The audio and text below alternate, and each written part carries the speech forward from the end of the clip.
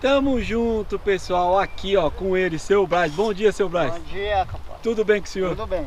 Seu Braz, primeiramente, obrigado por me receber aqui. É sempre um prazer Obrigado estar aqui. Eu você. adoro visitar a horta do senhor. E adoro também bater um papo.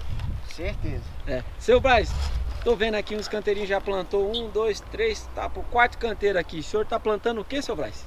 Estou plantando bloco, o Ramoso Santana. O Ramoso Santana? O Ramoso Santana. Ó. Posso dar uma olhadinha na muda, seu Braz? Mostrar pro pessoal como que é a muda do Ramoso? Ah, Que é o, o bloco do Free, né, mano? Ah, olha aí. Esse é o famoso Ramoso Santana. Seu Braz, o senhor plantando ele hoje, vai colher quando? Tá aqui há três meses. Três meses. Tem que esperar três meses para comer. Rapaz, julho, agosto, setembro, outubro. Outubro, É, de- depois da metade de outubro vai estar já tá começando a cachear. começando a cachear. E aí, seu Braz, quanto tempo para colher? Três meses. Colhendo assim no caso, né? Ah, Três sim, meses. mais uns três meses. A gente colhe ele. Aquele plantadinho. Seu Braz, o espaçamento que o senhor usa Ah, um meio metro, né? é meio metro? Vai no olho, né, seu Braz? Tem experiência, vai no Ah, olho. não, vai do olho mesmo. Já é, já é experiência de 35 anos. Eita, nós, é muito tempo, né? Muito tempo. 35 anos já.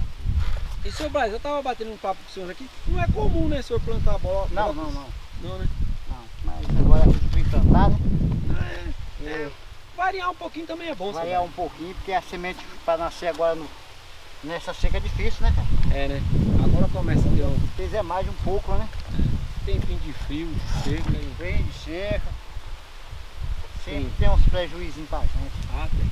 Seu Braz, uma pergunta também. O que o senhor tem plantado aqui na horta do senhor? Ah, só coentro e, e cebolinha só. Coentro de cebolinha. É só o que eu trabalho, coentro e cebolinha. E, e a couve, né, seu Braz? É, sim, e a couve, é. É, e a couve. A couve, couve. Fala aí, pô. Seu Braz. Bom, Ô, vizinho. É, rapaz. Daqui uns 5 anos, rapaz, hoje é a coisa, né? Coisa tá pior, viu? é mesmo, né, seu Tá. Sabe como vai ser, né?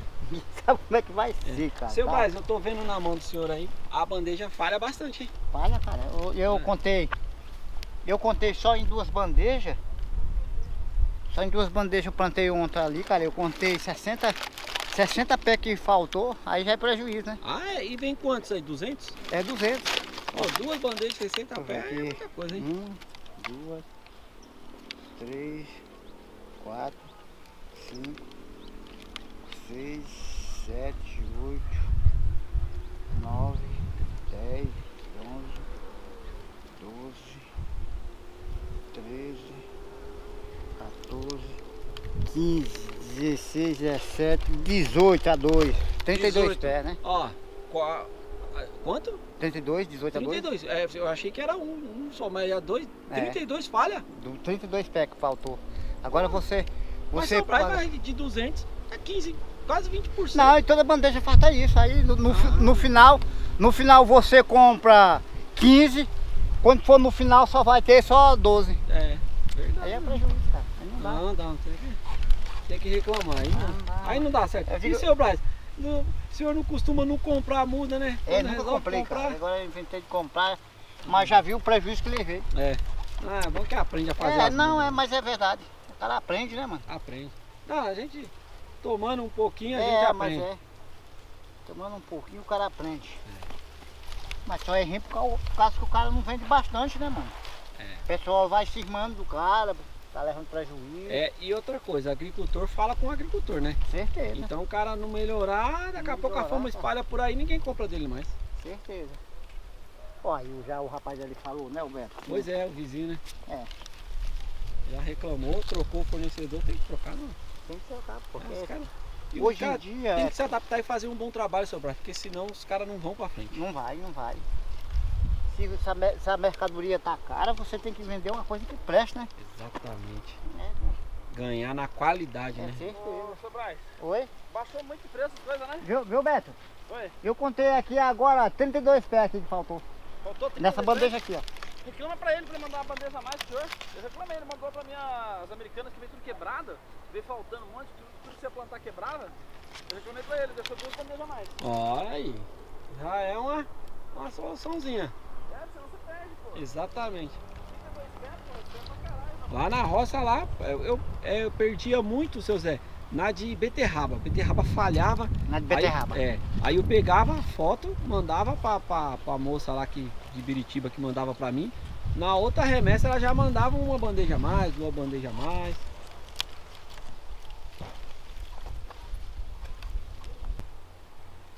Seu Braz, a fundura que o senhor faz, É, eu, eu, compro só isso aqui, ó.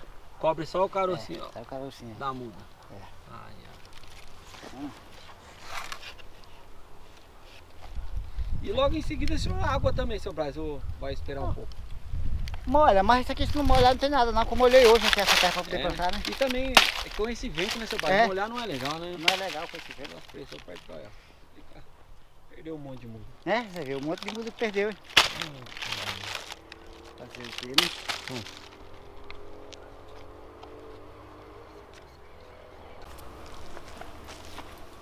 Ir lá, vou pegar daqui pra não ir pra lá, caminhando à toa, né? Isso, seu Braz, já vai fazendo o trabalho, né? Eu faço no trabalho, né? Pra não estar andando na rua. E as bandejinhas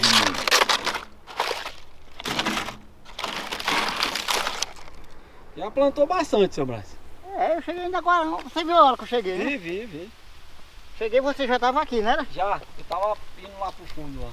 Eu tava colhendo couve.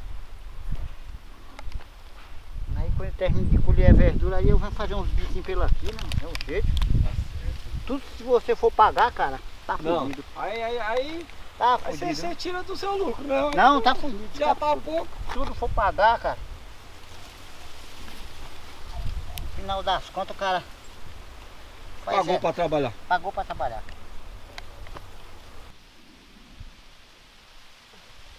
Não, não, calma,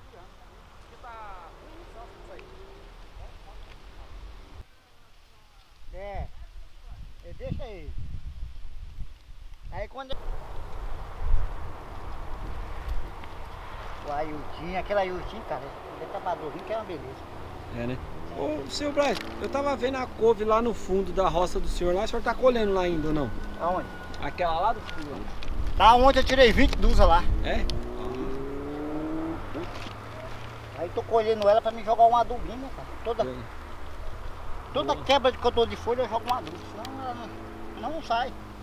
Não, é, tem que, tem que adubar, né, seu Tem que Braz? Pra adubar, vir. Ela não Bem adubar, forte. ela não sai. Tem que meter adubo, tem que gastar. Uma pausa ali no vídeo do seu Braz pra vir aqui no vizinho, o agricultor Beto. Bom dia, Beto. Bom dia. Tudo bem com o senhor? Tudo. Eu vi ali o seu latão de ureia ali, o senhor tá adubando a couve e manteiga. Isso. É essa, essa, esse tipo de couve e manteiga que o senhor planta aqui é a clara ou a escura? Essa é da escura. Essa é da chamar da, escura. da verdona, né? Ah, daqui é mais verde, né? É. Beto. E aí, Beto, posso dar uma olhada no punhado que o senhor joga de ureia? Esse é ureia, né? É. É que eu jogo semanalmente, né? Então joga, não precisa jogar tanta quantidade, né? Ó, toda semana o senhor tá fazendo Toda o senhor faz esse trabalho que você tá fazendo aqui. Toda semana. E aí em seguida o senhor rega também. Isso. Logo depois de jogar, a gente tem que jogar uma água em cima dela. Beto, é um trabalho, né? Porque é pé por pé, né? É pé por pé. Pé por pé, não é E é toda semana, né? toda que semana. Ó, É porque ela mantém o verde, né? Senão você não jogar, ela perde verde, ela começa a ficar cor amarelada, né? Ah, olha aí, uma dica pro pessoal.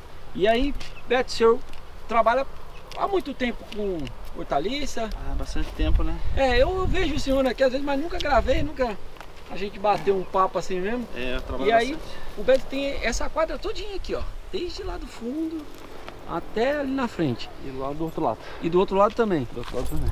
E Beto, o que, que o senhor tem plantado aqui na horta do senhor hoje?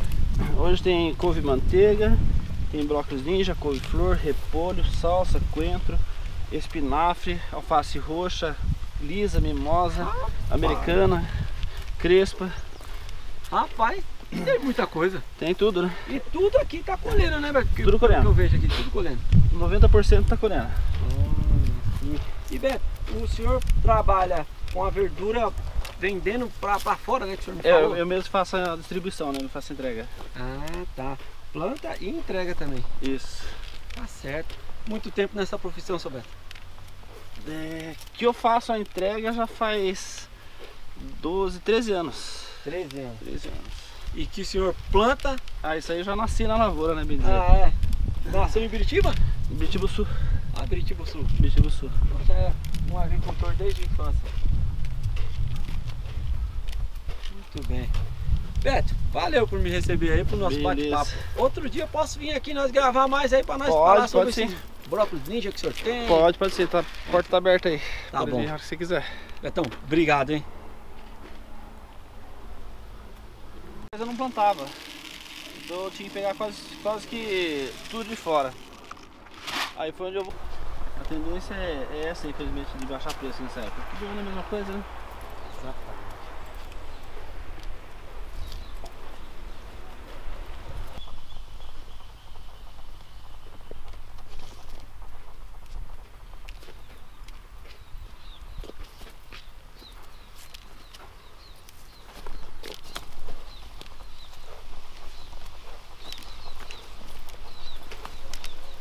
É isso aí. De volta aqui na horta do seu Brás, terminou de plantar os canteirinhos dele aqui e já se foi. Te convido a seguir nossas redes sociais, arroba tamo no Instagram, tamo no Facebook, tamo no Twitter. Um abraço a todos.